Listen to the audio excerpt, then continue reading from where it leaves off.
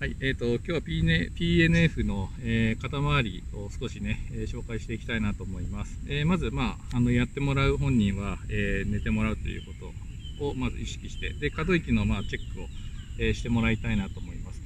えまあ、真ん中ぐらいから手をひっくり返して、え腕をちょっとストレッチ気味にやっていきます。でこの動作をしっかりと、え覚えてもらうというようなことが大事なので、え何回かえ繰り返しやってください。で、ここでポイントになるのは、え少し負荷をかけながら、えその抵抗をしてもらうということが大事になってきます。えここから実際に負荷をかけていきたいなと思います。はい。じゃあ、負荷をかけながら押してください。ゆっくりとこう押していきながら、ゆっくりと、はい、入れ替えて、はい、押してもらってっていうことをやっていきます。で、最後下までしっかりと、ぎゅーっと。はい、で、力抜いて、はいいいよ。ぎゅっと力入れて、そうそうそうそう。はい、反対ひっくり返して、はい、ぎゅっと最後まで。はい。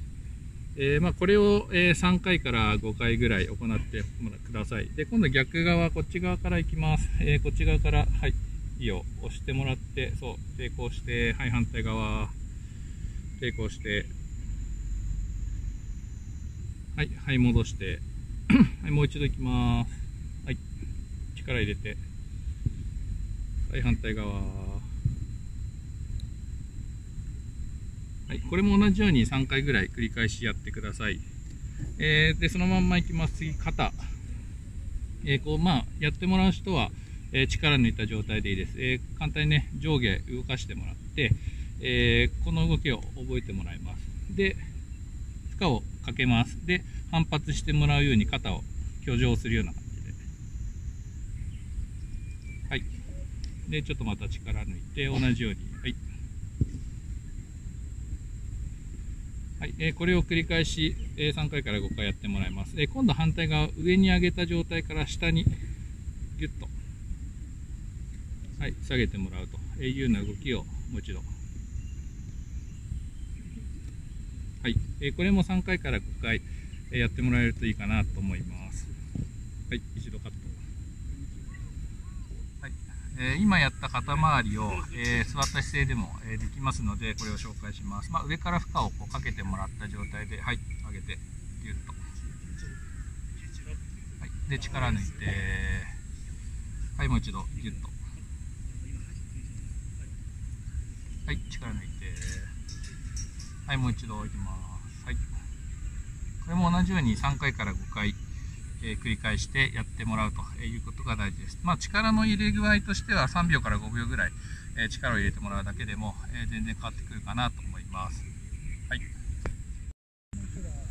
はい、えーと、次、股関節周りのストレッチを入れていきます。えー、今、あぐらをかいてもらっている状態になりますが、えー、これも同じように負荷を、えー、かけていきます。で、ちょっとね、可動域を確認しながら、えやっていきたいなと思います。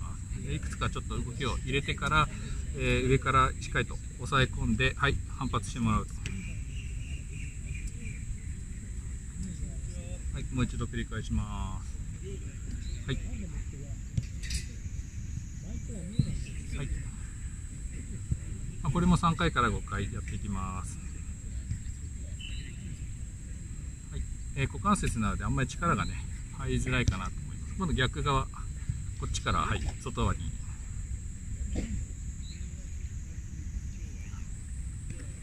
もう一度。いいよ。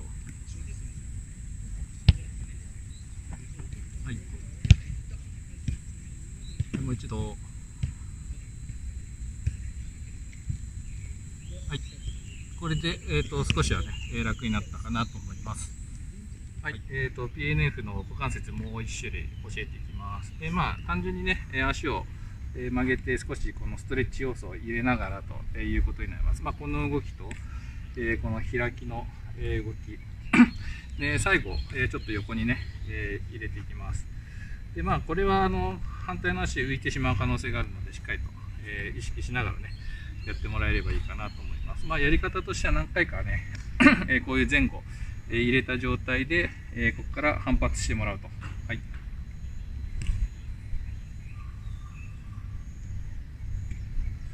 はいまあ、これも3秒から5秒ぐらいね、しっかりと反発をしてもらうということです。はい。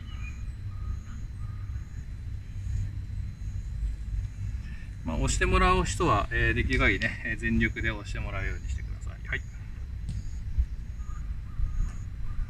まあ、今見ててもらっても分かると思います。最初よりも全然抵抗なく曲がってるかなと思います。え次、まあ、これも同じように外側。はい。でまあ、ちょっと反対側の足が気になるようであれば、えー、またいでもらって、えー、押さえてもらいながら、はい、やってもらって構いません。